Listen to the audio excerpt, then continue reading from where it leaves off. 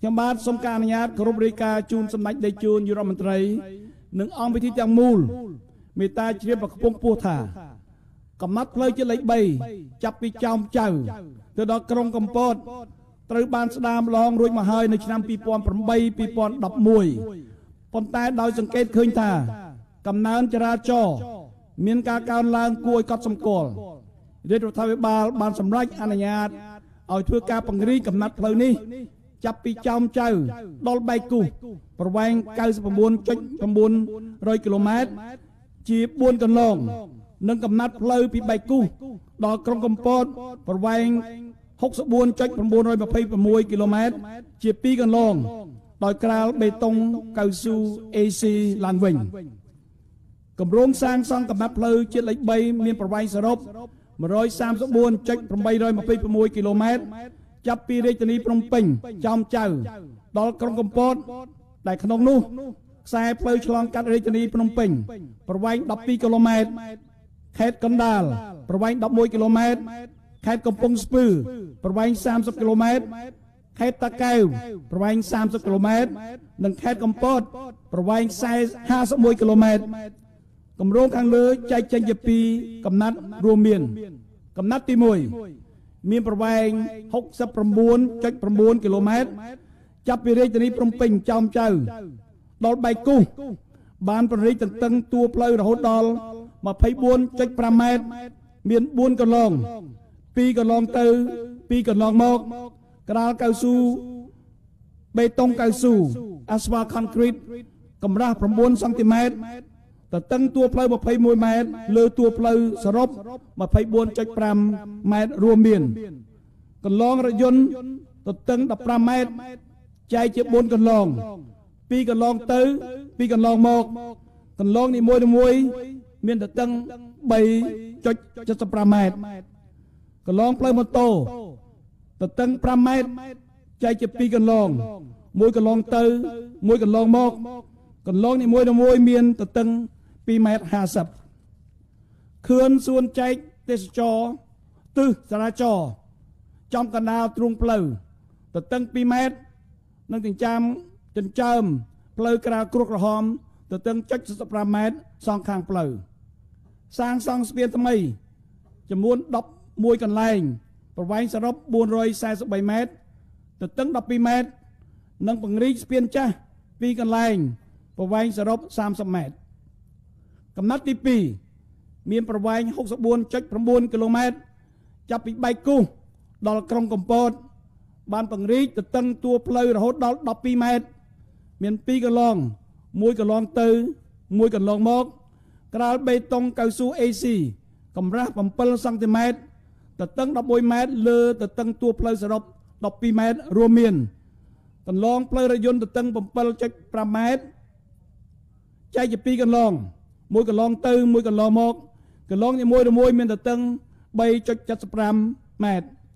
កន្លងផ្លូវម៉ូតូទទឹង3.5ម៉ែត្រចែកជា2កន្លងកន្លងនីមួយៗមានទទឹង1.75ម៉ែត្រនិងចិញ្ចើមផ្លូវក្រាលគ្រួក្រហមទទឹងកន្លះម៉ែត្រសងខាងផ្លូវកំណត់ផ្លូវទាំងពីរនេះ បានសាងសង់លូជ្រុងចំនួន34កន្លែងលូមូលចំនួន110 177កន្លែងលូដាក់តាមប្រឡាយសងខាងផ្លូវចំនួន271កន្លែងនិងការងារបំពាក់បរិខាផ្លូវថ្នល់រួមមានផ្លាកសញ្ញាចរាចរណ៍គំនូសចរាចរណ៍បង្គោលគីឡូម៉ែត្រនិងបង្គោលសុវត្ថិភាពព្រមទាំងមានបំពាក់កាមេរ៉ាចាប់លបឿនអចល័តចំនួន10កន្លែងនិងសាងសង់ស្ពានថ្មីស្ពានថ្មើរជើងរំលងផ្លូវចំនួន2កន្លែងផងដែរ គម្រោងនេះអនុវត្តការសាងសង់ដោយក្រុមហ៊ុនសាជីវកម្មស្ពាននិងថ្នល់ចិន CRBC និងត្រួតពិនិត្យបច្ចេកទេសដោយក្រុមហ៊ុនទីប្រឹក្សាបច្ចេកទេសខ្វាងចៅវ៉ាន់អាន ប្រើប្រាស់រយៈពេលសាងសង់ចំនួន34ខែគិតចាំពីចាប់ពីអំឡុងខែតុលា ឆ្នាំ2018ដល់អំឡុងខែកក្កដាឆ្នាំ2021បានចំណាយថវិកាសរុបប្រមាណ215លាន 888សែនដុល្លារអាមេរិកដែលជារដ្ឋាភិបាលសម្បទានពីរដ្ឋាភិបាលនៃសាធារណរដ្ឋសាធារណរដ្ឋវិជាមនិតចិន រួមជាមួយនឹងថវិកាបរិភាគរបស់រាជរដ្ឋាភិបាលកម្ពុជា សម្រាប់ការដោះស្រាយផលប៉ះពាល់ការបោះសម្អាតក្របមីនយុទ្ធភ័ណ្ឌបន្តផ្ទុះនិងពន្ធករផ្សេងផ្សេងកំណត់ផ្លូវលេខ3រាជធានីភ្នំពេញក្រុងកំពត គឺជាខ្សែផ្លូវនៃពលសេដ្ឋកិច្ចនិងទេសចរដ៏មានសក្តានុពលរបស់ព្រះរាជាណាចក្រកម្ពុជា ឆ្លងកាត់រាជធានីខេត្តចំនួន5រួមមានរាជធានីភ្នំពេញខេត្តកណ្ដាលខេត្តកំពង់ស្ពឺខេត្តតាកែវខេត្តកំពតនិងតភ្ជាប់ទៅកាន់កំពង់ផែសមុទ្រអន្តរជាតិខេត្តព្រះសីហនុតាមរយៈកំណត់ផ្លូវជាតិលេខ3កំពតវារិញភ្ជាប់ទៅផ្លូវជាតិលេខ4ព្រៃនប់និងតភ្ជាប់ទៅច្រកព្រំដែនកម្ពុជាថៃខេត្តកោះកុង តាមផ្លូវជាតិលេខ4និងផ្លូវជាតិលេខ48កំណត់ខ្សែផ្លូវនេះបាននឹងកំពុងដើរនតួនីតិយ៉ាងសំខាន់ក្នុងការលើកកម្ពស់ប្រសិទ្ធភាពនៃការធ្វើដំណើររបស់បងប្អូនប្រជាពលរដ្ឋជាពិសេសការធ្វើដំណើរកំសាន្តទៅកាន់ខេត្តកំពតនិងកែបដែលជាខេត្តគោលដៅទេសចរដ៏សំខាន់សម្បូរដោយធនធានទេសភាពធម្មជាតិមានតំបន់ចរងភ្នំតំបន់ឆ្នេរដ៏ស្រស់ ត្រកាលដែលជាចំណុចតាក់ទាញភ្ញៀវទេសចរជាតិនិងអន្តរជាតិមិនតែប៉ុណ្ណោះកំណត់ខ្សែផ្លូវនេះ មានភាពរឹងមាំធំទូលាយនិងសម្រួលដល់ការដឹកជញ្ជូនទំនិញគ្រប់ប្រភេទទៅកាន់ទីផ្សារក្នុងស្រុក និងទីផ្សារអន្តរជាតិព្រមទាំងបានបញ្ជាការកកស្ទះនៅតាមបណ្ដោយផ្លូវជាតិលេខ4បានមួយកម្រិតបន្ថែមទៀតផងដែរម្យ៉ាងវិញទៀត ស្របតាមទិសដៅនៃការអភិវឌ្ឍតំបន់ឆ្នេរសមុទ្រនៅកម្ពុជា ជាពិសេសនៅខេត្តកំពតនិងខេត្តកែបរាជរដ្ឋាភិបាលគ្រោងនឹងសាងសង់ពង្រីកនិងលើកកម្រិតគុណភាពផ្លូវជាតិលេខ31ផ្លូវជាតិលេខ33ផ្លូវជាតិលេខ41និងកំណត់ផ្លូវជាតិលេខ3ពីកំពតទៅវារិញដែលជាបណ្ដាញផ្លូវតភ្ជាប់ប្រទាក់កលាគ្នា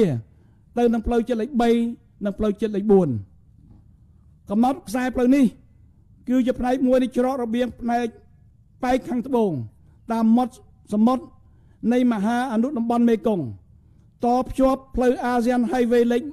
123 AH 123ពីប្រទេសថៃ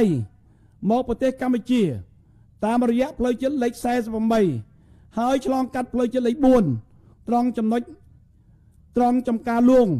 ផ្លូវជាតិលេខ3ត្រង់ចំណុចផ្លូវបំបែកវាលរិញនិងបន្តទៅប្រទេសវៀតណាម តាមរយៈផ្លូវជាតិលេខ33កាត់តាមកំពង់ត្រាចចេញទៅច្រកព្រំដែនកម្ពុជាវៀតណាមប្រៃចាសាសៀងនឹងជួយជំរុញកំណើននៃទំហំពាណិជ្ជកម្មនិងទេសចររវាងកម្ពុជា ជាមួយប្រទេសជិតខាង កំណត់ផ្លូវចំណុច3នេះ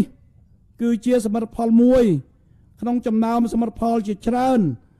ដែលបាននឹងកំពុងផ្ដល់អត្ថប្រយោជន៍យ៉ាងច្រើនលើសលប់ដល់បងប្អូនប្រជាពលរដ្ឋនៅទូទាំងប្រទេស កើតចេញពីការដឹកនាំប្រកបដោយគតិបណ្ឌិត និងទឹកចិត្តស្នេហាជាតិមាតុភូមិនិងប្រជាជនដ៏មោះមុតនិងបញ្ញាញាណដ៏ឆ្លៀសវៃរបស់សម្ដេចតេជោនយុរដ្ឋមន្ត្រី ដែលជាបិតាស្ថាបនិកនិងជានិមិត្តរូប នៃសុខសន្តិភាពតម្លៃសន្តិភាព ដែលយើងទទួលបានមកដល់បច្ចុប្បន្ននេះ គឺពិតជាមានសារៈសំខាន់ខ្លាំងណាស់มันអាចកាត់ថ្លៃបានតែបានផ្ដល់ឱកាសឲ្យកម្ពុជា មានការអភិវឌ្ឍរីកចម្រើន លើគ្រប់វិស័យនិងប្រជាជនគ្រប់រូបមានមុខរបរមានការងារធ្វើ មានប្រាក់ចំណូល មានជីវភាពរស់នៅប្រសើរជាងមុននិងរស់នៅដោយ គ្មានភាពភ័យខ្លាច មានសុខភាពសុខុមាលភាពពេញលេញ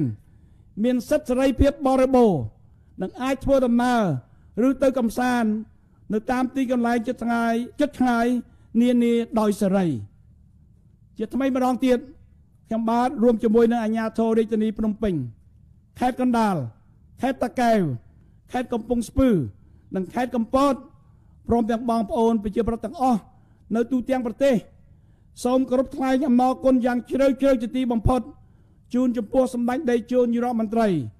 ដែលបានលះបង់ទាំងកម្លាំងកាយនិងកម្លាំងចិត្ត